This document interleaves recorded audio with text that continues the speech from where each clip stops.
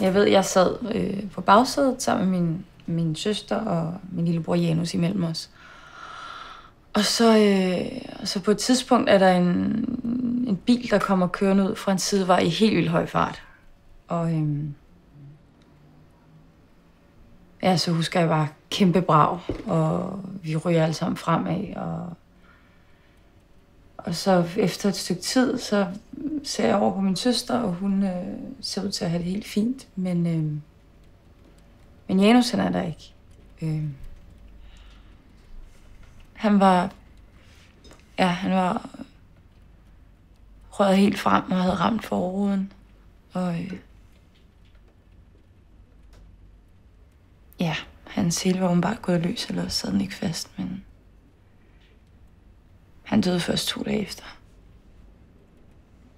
Og vi andre, vi havde kun blå mærker.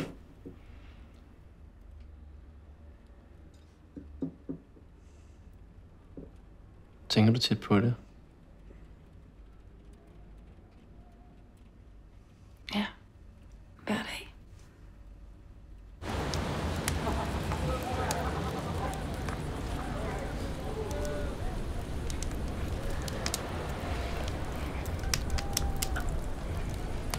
Hej Martin.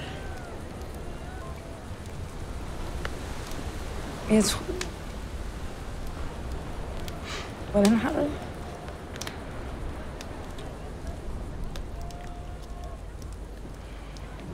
Okay. Øh, Hvorfor vil du ikke have mig? Ma- Martin, er du fuld? Er du fuld? Hey, giv slip.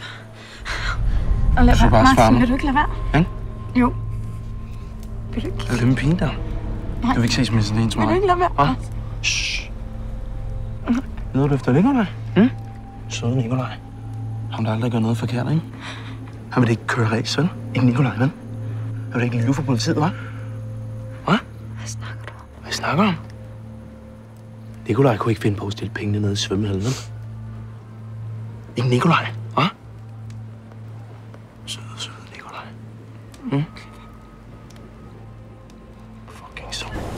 맛있네.